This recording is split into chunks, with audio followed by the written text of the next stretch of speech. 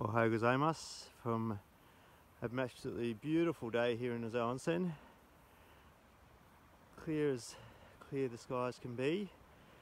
Blue skies, great views across there now to Madarao, Myoko, Kogen and Hiuchi Mountain in the background. And Japan Sea's out behind that. We had uh, quite a surprise package yesterday. A fair bit of snow falling across the resort. Probably got up to 15 to 20 centimetres I think in total yesterday. Some big flakes falling at times.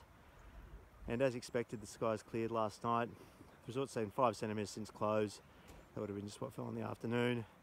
Uh, but there'll be a bit of fresh up there in places.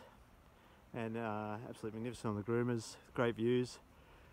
It's going to be warm up a bit today too. It was pretty cold yesterday, minus 12 up top. But today will be a little bit warmer. And uh, expecting snow coming again tonight into tomorrow. Good rhythm next few days. Snow, sun, snow, sun. So we like to see. Beautiful February here in Nozawa Onsen. Look forward to seeing you. Arigatou gozaimasu. So happy Valentine's Day. Arigatou gozaimasu.